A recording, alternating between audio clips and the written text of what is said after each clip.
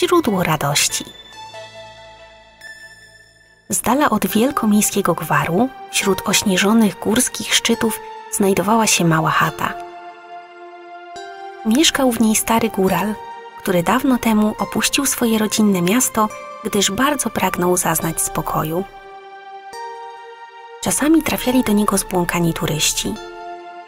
Zawsze mogli liczyć na życzliwość gospodarza, który częstował ich ciepłą strawą i zapewniał wszystkim miejsce do spania. Jeśli tylko goście mieli chęć na rozmowę, opowiadał im taką oto historię.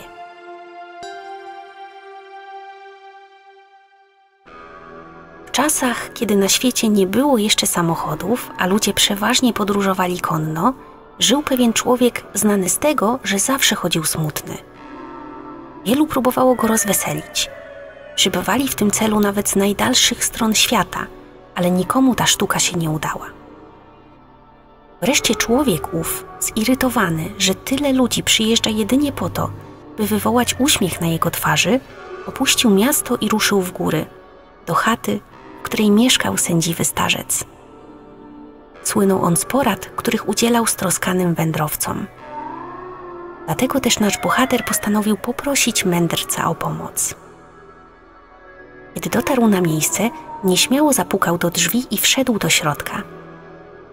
Przy oknie na drewnianym stołku siedział starzec z siwą brodą i wpatrywał się w horyzont. Potrzebuję twojej rady, rzucił od progu przybysz. Zmieszał się, gdyż gospodarz przez dłuższą chwilę milczał. Na koniec odezwał się cichym, pełnym spokoju głosem. Jakiej pomocy potrzebujesz? Wielu przychodzi do mnie licząc na to, że dam im receptę na życie, że moje słowa rozwiążą wszystkie problemy, jak za dotknięciem czarodziejskiej różdżki. Jestem smutnym człowiekiem, rzekł wędrowiec. Nic mnie nie cieszy. Ludzie przybywają nawet z dalekich stron, by mnie rozweselić, ale im się to nie udaje. Nigdy w życiu nie byłem radosny. Chciałbym zaznać tego uczucia. Starzec poprosił swego gościa, by usiadł, a sam pogrążył się w zadumie. Po krótkim czasie rzekł: Widzisz, wydaje mi się, że problem tkwi w tobie. Jak to? Nie rozumiem. Nie oczekuj, że to ludzie sprawią ci radość, bowiem największe szczęście płynie z dawania radości innym. Wędrowiec wstał z krzesła, podziękował za radę i ruszył w drogę powrotną.